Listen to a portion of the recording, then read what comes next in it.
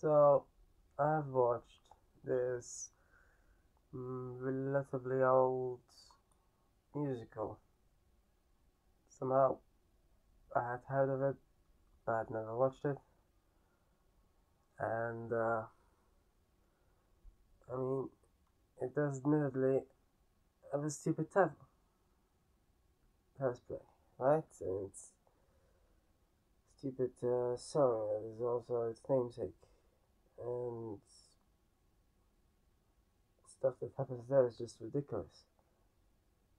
I mean, who goes around spraying stuff in each other's faces and then only cough after the song finished? I mean, realistically, there is not. People would cough long before the song finishes, surely. But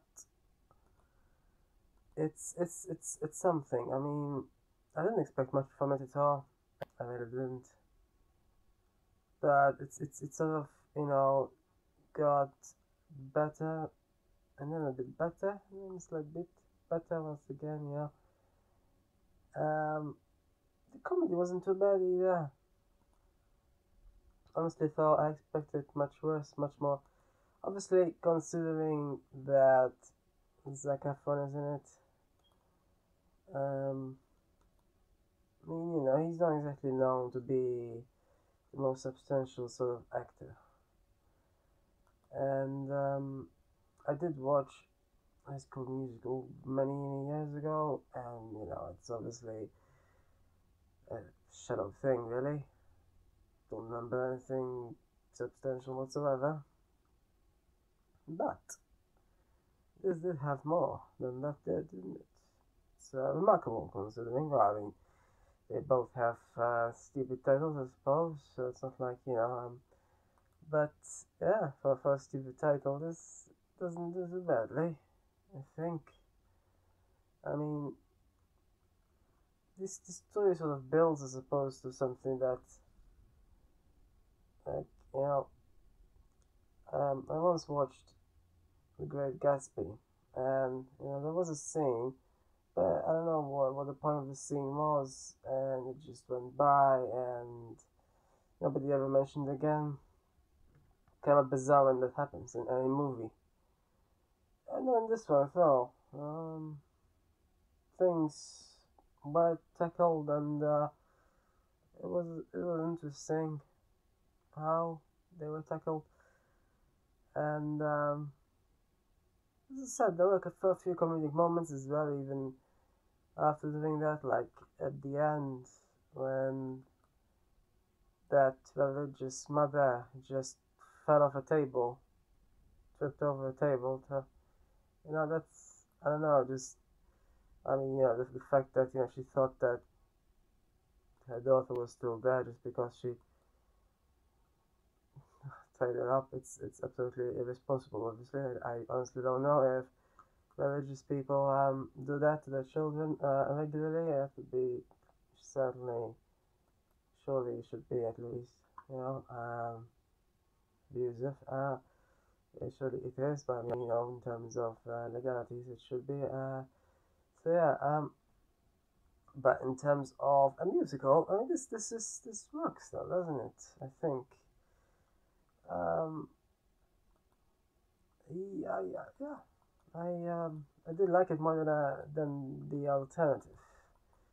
It's remarkable considering uh, there's Zac Efron in it.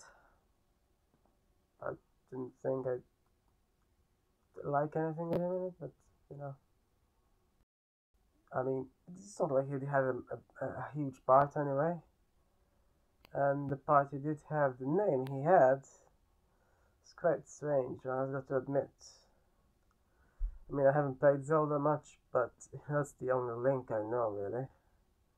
I'm assuming since it's been out for 13 years now, because people associate Link with his character as well, unless, you know, considering his character's somewhat minor, maybe people don't remember him much. But still, I have never heard of anyone else called Link before. That's a strange kind of game, I suppose. But anyway, yeah, it's um, I had never heard of any of the other. Well, well no, what am I saying? Um, I knew Culkin. Yeah, what's he called again? I just cannot believe though. This was originally written and directed by that guy. Um, I don't know what to think about that guy. I mean, his, his, uh, his other movies don't seem to be at all like this. And anyway, yeah. Um, mm, yeah, PJ is modest. So, uh, you know, it wasn't too bad, and uh, it's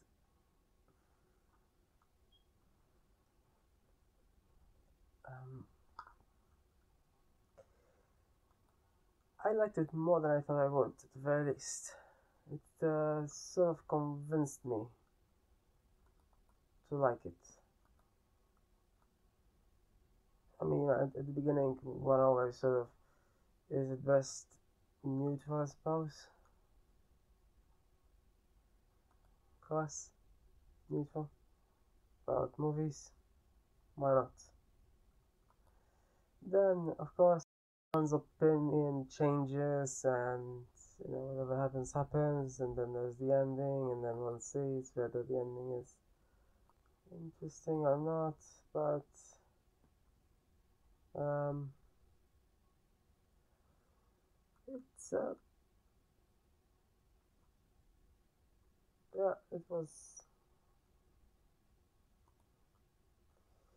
exceed, exceeded my expectations so yeah, I mean, I, I, I honestly don't know what exactly is required for a musical to be satisfactory.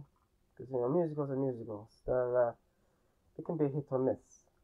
I mean, something like Phantom of the Opera is obviously so much more grandiose. But uh, that's Phantom of the Opera. I'm not sure there's many others like it. Uh, I, I'd hope at some point to find something like it, but so far I haven't quite. Most musicals seem to be somewhat shallow, usually. I mean, yes, this uh, it's one of those things, I don't know why it's called that. Made me think it will be incredibly shallow, but somehow wasn't. Somehow, I mean, it still wasn't as substantial as uh, Phantom of the Opera, I suppose. It's, you know, it's, a, it's more about you know existence and anyway yeah um and um self-worth um but uh no this is this is still this is more about society at large I suppose. This made uh, a lot of profits apparently. And it cost a lot apparently. 75 million. What would they have done if they didn't make a profit? Uh, losing 75 million is quite a lot. I'm assuming it's mostly for the props, but it did make quite a lot of profit, so it's remarkable. Um, the one in 88, the previous version, did much less here apparently, so that's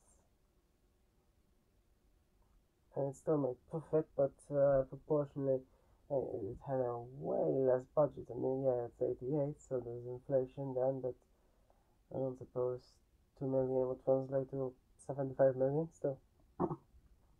um, yeah, well, 3 million. They nearly 2 million they, they used up to, to make the film in 88. Made 8.3 million then. Um, so that's, uh, I suppose it's actually it's actually proportionally it's it's an even better box office actually because the other one had a bit more than half. Mm. And this this seems to be um, double. Wait, yeah, the other one is double, a bit more, a bit modern, but this one is a bit even more. Seems like. I mean, yeah, if it was nine million, then it would have been nearly, but it would have been two times as much as, as it is. I mean, well, yeah. anyway, I think it is more in proportionally. So yeah, and uh, was this produced by the same, distributed by the same? I think it's uh, yeah, New Line Cinema. They produced both the 88 version, distribution or produced, and the 2007 version. That's quite a distance, isn't it? It's uh, what's? So, so 18 years, isn't it? Yeah, 18 years. Uh, so they just waited for the um, protagonist to grow up. Why not? This. Uh, a huge page for it, yeah. Someone's really interested in it. Um, yeah, so still can't believe that that guy wrote it. Yeah, never mind about that. Um, he is, by the way, the so-called in this, yeah, this is his uh, from a moment family. Yeah. Uh, Christopher Walken can uh, dance, I guess. Yeah, again. And so can John Travolta. So, uh, such a hilarious role for him, right? I mean, I can't believe he went from, what was it, like 10 years before the point? He went from uh, Pulp Fiction, yeah? Gangster with a gun and drugs, and uh, to, um, um, to, um, yeah, to putting on uh, fake fat or whatever it is, and uh, wigs, and quite funny. The length, uh, honestly, I don't know why. I mean, the, is it just the money that they want or what? Because it seems like a lot, you know. It must be really stuffy underneath the costume. Seems stuffy. Anyway, uh, whereas the others have it less. I mean, the others will have the best the hair done and such, maybe a bit of makeup, but not really much more. Hmm. Yeah, I uh, liked it more than I thought I would.